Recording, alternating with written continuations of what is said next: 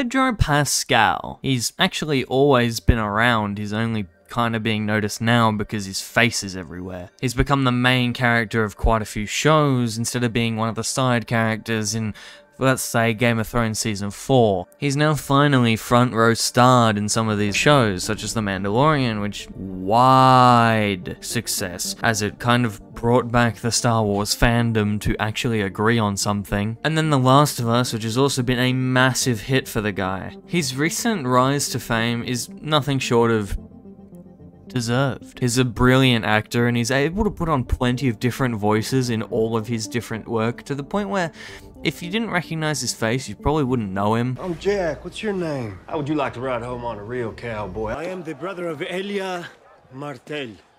And do you know why I've come all the way to this stinking shit pile of a city? My daughter's hurt. Her ankle. Stop right there! I said open the doors. He sounds about the same in Last of Us and Mandalorian, but then watch him in something like Game of Thrones, or The Unbearable Weight of Massive Talent. His accents completely change, using his default voice to American that's going through hard times after a zombie apocalypse, and a rich billionaire who supposedly kidnaps people. You just run out there, you get the truck, you come back and get me. I will keep a lookout. Both with completely different voices that you'd never fucking recognize. And he's kind of become the internet's daddy. Just look up Pedro Pascal and then internet daddy afterwards. You, you'll find a whole host of really creepy bullshit.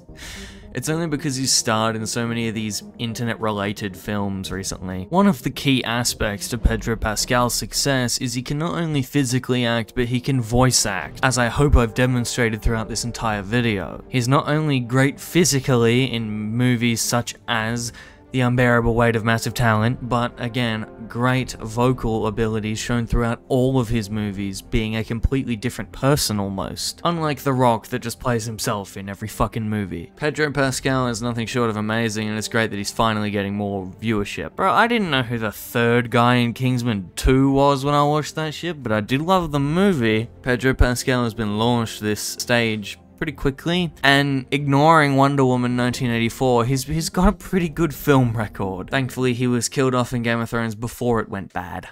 So I personally cannot wait to see where he goes from here. Beans. Just made an album, seven days, that's quick. Boobies going up and down, she's fit.